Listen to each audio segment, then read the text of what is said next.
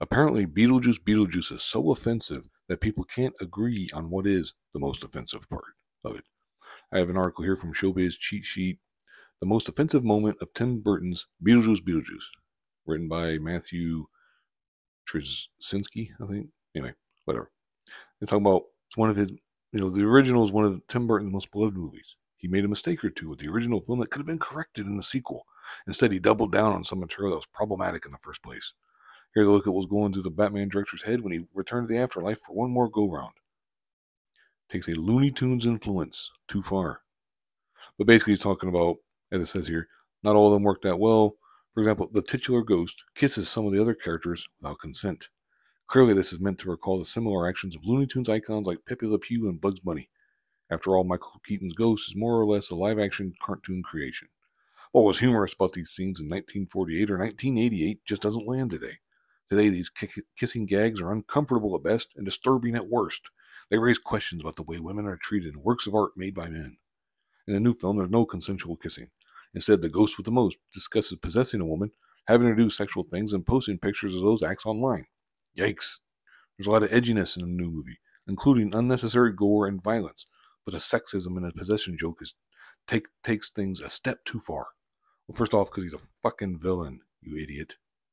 He's supposed to be offensive. He's supposed to be that way. But anyway, and he goes on and blah, blah, blah, and talks about, you know, eh, there's a poor excuse for a moment of bold faced misogyny and otherwise fun and inoffensive movie.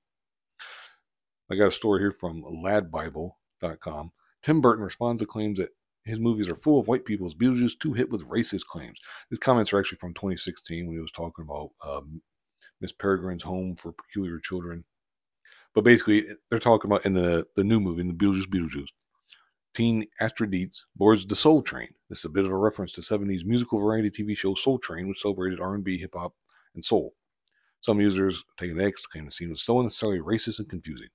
Racist as hell, as one person put. I'm glad people are calling out Beetlejuice Beetlejuice for its racist depiction of black people. The only time black people are in the movie is for a Soul Train joke. Further adding that they still thought that the movie was good. Then it goes on and talks about, you know, another person said, it's in your face and obvious. It felt suspicious under the surface. And then he gets into his comments from uh, I had mentioned before. You know, he's basically talking, you know, talking about, you know, I remember back when I was a child watching the Brady Bunch and they started to get all politically correct. Like, okay, let's have an Asian child and a black. I used to get more offended by that than just I grew up watching black exploitation movies, right?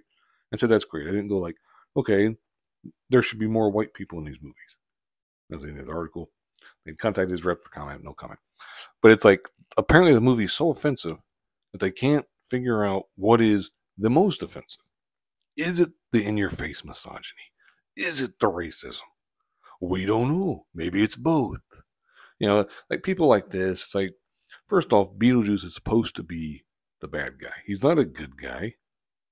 Like he's not he's not some, you know, oh, he's a little soft, fluffy, you know, inoffensive type who, who's here to, you know, do little cartoon gags and stuff. He's supposed to be uh, you know, evil. He's supposed to be a villain, basically.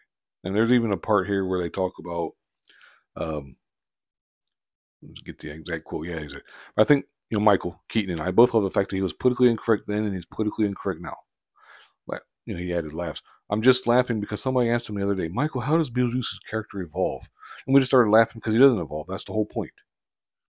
You know, and that's the thing. It's like he's not supposed to evolve. That's that's the the gig. That's the gag. That's the gig. That's the, you know, however you want to phrase it. That's the job. That's part of it. But it's just it's just absurd. Like people are gonna get offended by everything.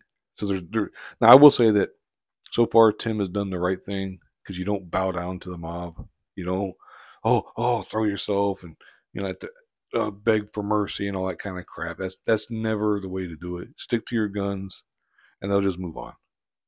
Anyway, I'm gonna I'll, I'll link both this stuff in the description box and everything. I'm to go ahead and wrap this video up here. But thank you very much for watching and